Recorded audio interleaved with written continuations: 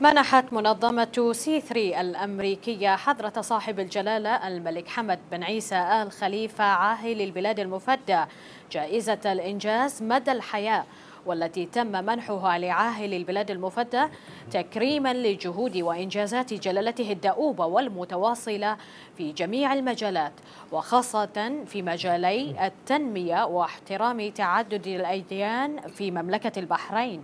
واهتمام جلالته بتنمية وتوطيد العلاقات بين مملكة البحرين والولايات المتحدة الأمريكية على المستويات كافة ما جعلها نموذجا للشراكات الاستراتيجية بين الدول التي تقوم على أسس واضحة وقوية.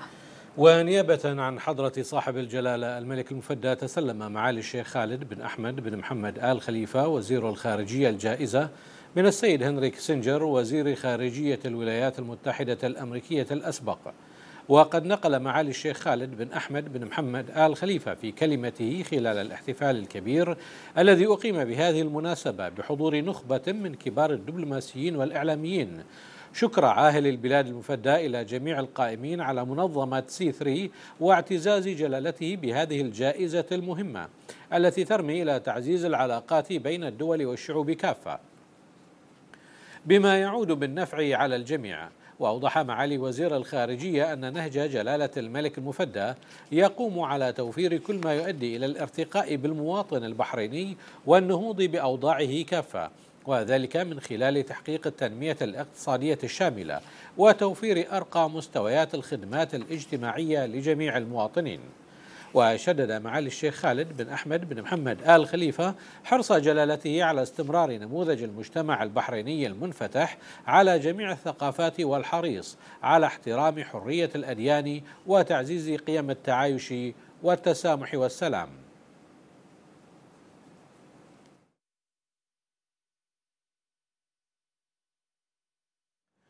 وأكد معالي وزير الخارجية في كلمته عمق ومتانة العلاقة بين مملكة البحرين والولايات المتحدة الأمريكية حيث بدأت منذ أكثر من 120 عاما عندما تأسس مستشفى الإرسالية الأمريكية.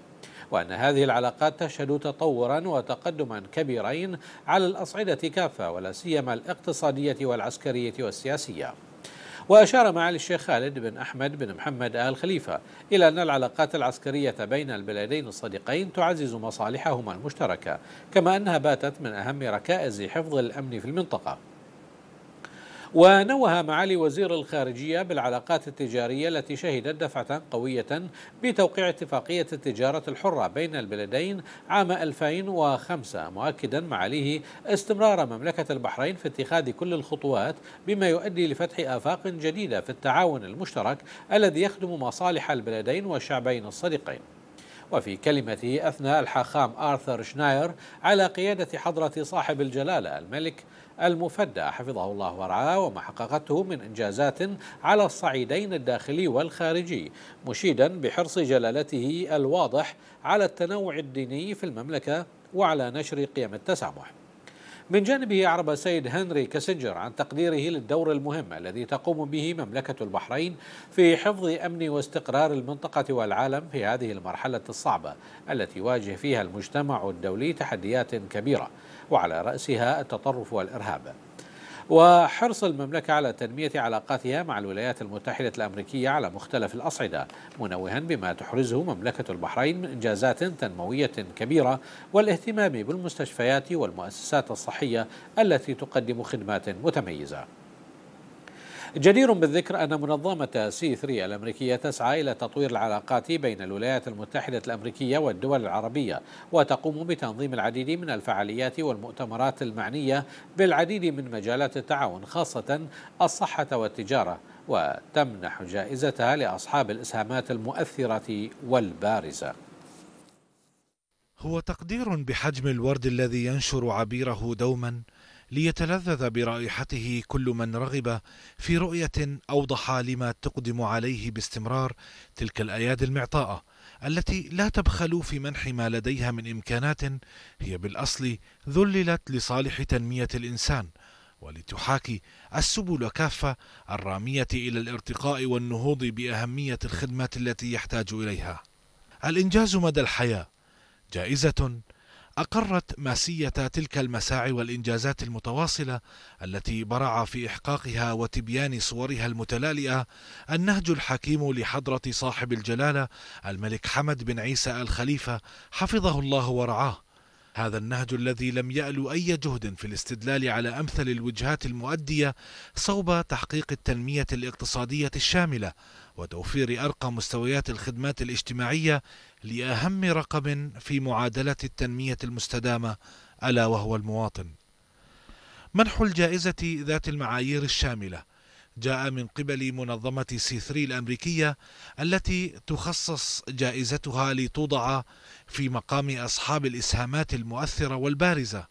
فهي من تابعت عن كثب تلك السياسات الناجعة التي عكست اهتمام جلالة الملك حمد بن عيسى الخليفة في استمرار انفتاح المجتمع البحريني على جميع الثقافات وحرصه المستمر على احترام حرية الأديان وتعزيز قيم التعايش والتسامح والسلام.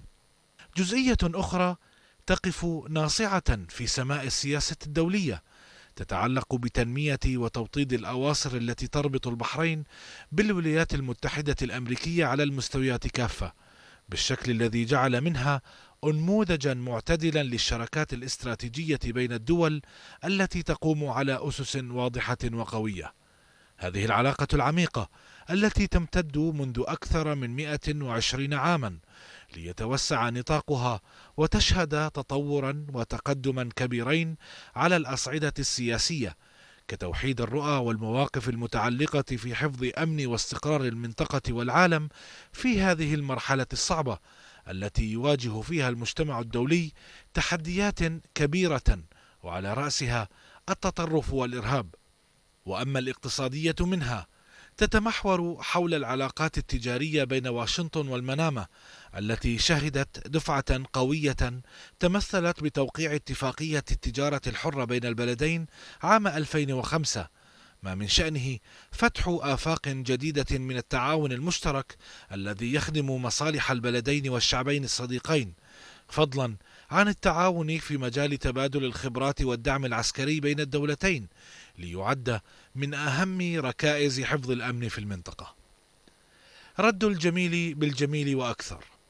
أفصح به لسان معالي الشيخ خالد بن أحمد بن محمد آل خليفة وزير الخارجية الذي تكفل باستلام جائزة الإنجاز مدى الحياة من هنري كيسنجر وزير خارجية الولايات المتحدة الأمريكية الأسبق والتي منحتها منظمة سي 3 الأمريكية لعاهل البلاد المفدى الملك حمد بن عيسى آل خليفة خلال حفل كبير أقيم بهذه المناسبة. هذا الحفل الذي نقل من خلاله معالي الشيخ خالد بن أحمد بن محمد آل خليفة بحضور نخبة من كبار الدبلوماسيين والإعلاميين شكر عاهل البلاد المفدى إلى جميع القائمين على منظمة سي 3 واعتزاز جلالته بهذه الجائزة المهمة التي ترمي إلى تعزيز العلاقات بين الدول والشعوب كافة بما يعود بالنفع على الجميع. جائزة لم تجد صعوبة في التعرف على من يستحقها، استحقاق. جاء كبريق نجم اختال بجمال صنيعه الذي نظرته تلك الأعين التي أعطت لكل مقام قدره لتجود بمقال عنوانه الأبرز شخصية الحياة وسجل إنجازاتها. لتلفزيون البحرين محمد رشيدات.